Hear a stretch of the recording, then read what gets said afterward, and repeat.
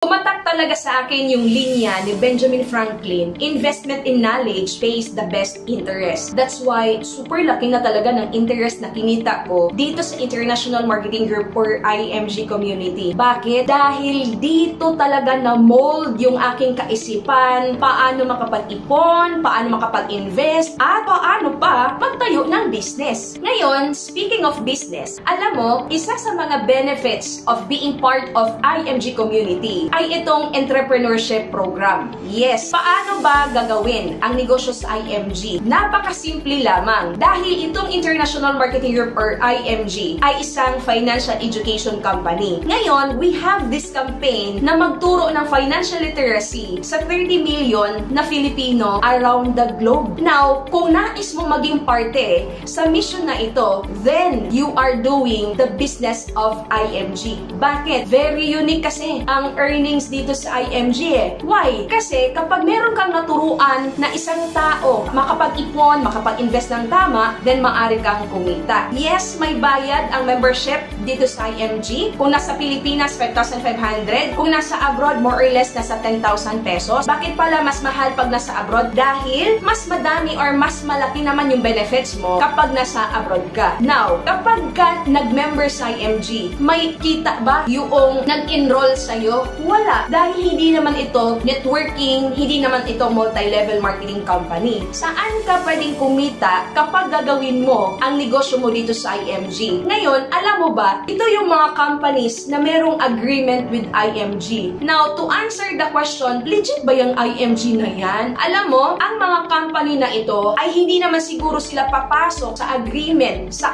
IMG kung hindi legit ang International Marketing Group. At gaano na ba katagal ang IMG? Dalawang dekada na po. Yes, 20 years na. Ngayon, kapag nais natin gawin ang IMG business, ibig sabihin, nais nating maging parte doon sa mission of teaching people how to save and invest properly. So, ibig sabihin, ikaw muna sa sarili mo, maisagawa yung ituturo mo sa iba. Bakit? Ang hirap naman na magturo. Tapos, ikaw mismo ay hindi naman pala nag-iipon ng tama. Now, hindi tayo mga ahente dito. Dahil ang ahente, ibebenta kahit yung pala siya. But dito sa IMG, financial educator. Yes, very proud talaga kung masabi yan. Dahil kung ano yung sasabihin natin, ito yung tamang formula ng pag-iipon, ginagawa ko. Ito yung proper way of building our finances, sinusunod natin. Ito yung kailangan nating gawin na may proper healthcare, meron tayong Kaiser Saving Program. Dapat meron tayong proper protection, meron tayong most 18. Dapat meron tayong emergency fund. Dapat mag-build up natin yung savings natin, yung investment natin, slowly but surely, ginagawa natin yan sa mutual funds. At ito yung mga patunay, di ba, na kahit 20 pesos lang, nagagawa natin yung pag-i-invest. Kaya nga, kapag nais natin gawin yung negosyo sa IMG, kailangan lamang ibahagi mo yung natutunan mo at syempre yung taong naturuan mo at naintindihan niya ay mag-execute yan. Ngayon, ito ulit yung mga product providers ng IMG na maaari kang magkaroon ng business income. Ibig sabihin, kapag ang isang tao na naturuan mo at nais niya rin na isagawa yung mga saving program, then doon po magsisimula yung income mo, paano ka kikita sa negosyo mo sa IMG. Of course, dahil sinasabi nating negosyo, malawak ang potential earnings ng isang tao na siseryosohin ang negosyo na ito sa financial industry sa IMG. Ikaw ba, nais mo na rin itong gawin? Aba, just let me know so that I can guide you.